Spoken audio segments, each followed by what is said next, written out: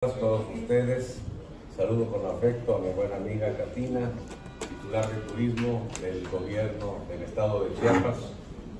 Además les digo que mi abuela, la mamá de mi papá, era de San Cristóbal de las Casas, allá en Chiapas. Por eso siempre que, veo a Chiapas, pues recuerdo a los abuelos, a mi padre, a toda la familia.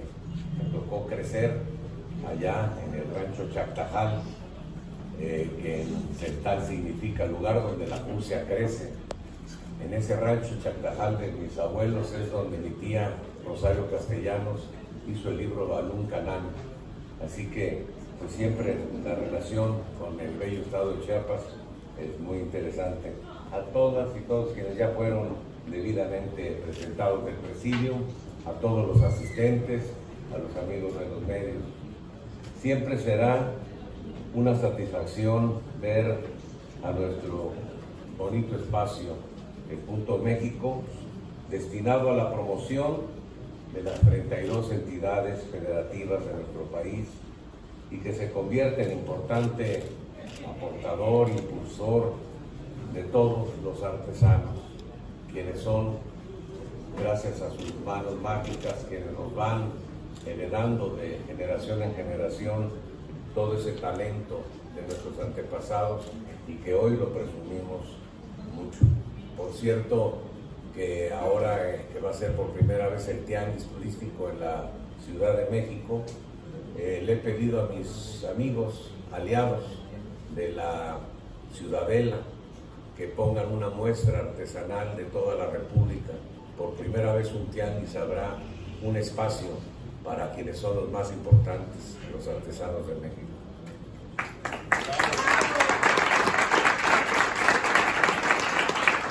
El día de hoy recibimos con mucho entusiasmo al segundo estado con mayor biodiversidad y cobertura forestal después de Oaxaca.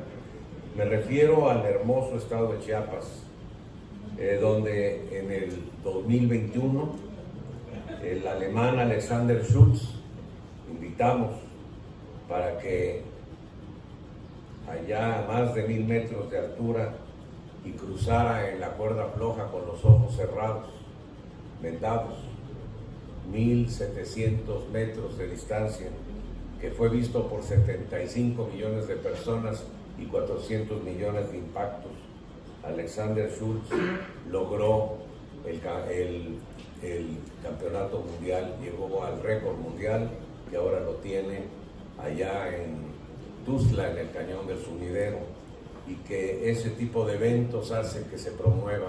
A la siguiente semana, el actor principal de la serie de La Casa de Papel, nos hablaron de la televisora española, lo mandamos a Chiapas, estuvo feliz y es un influencer que pues siempre promueve mucho esta actividad.